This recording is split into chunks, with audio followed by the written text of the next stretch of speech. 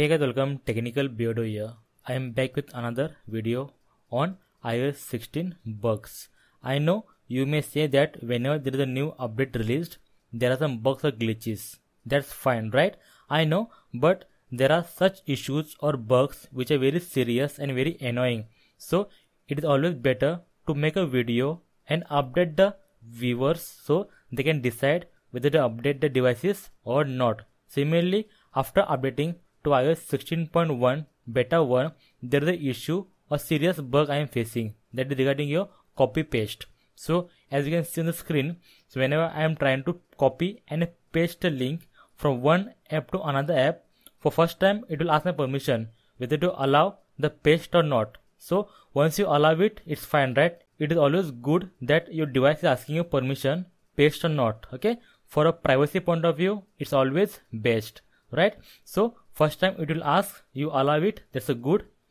But the issue starts when every time you try to paste anything, it will always ask for permission. So every new link for every paste or every copy paste a new fresh one, it will ask you permission.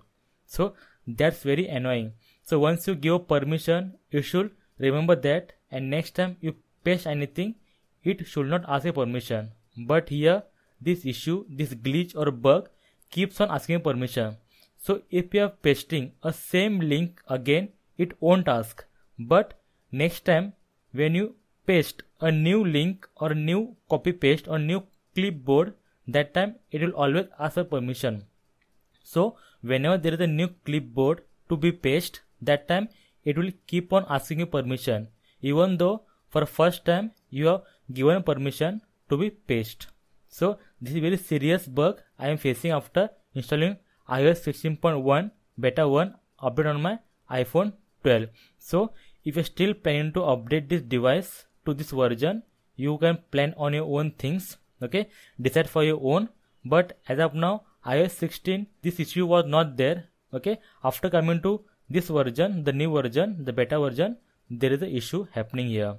So this issue is not yet fixed. I tried many things like your reset network setting, reset your device, reboot. I tried everything here, but still issue exists.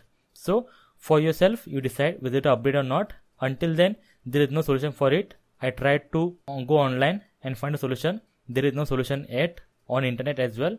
So let's hope there is a solution.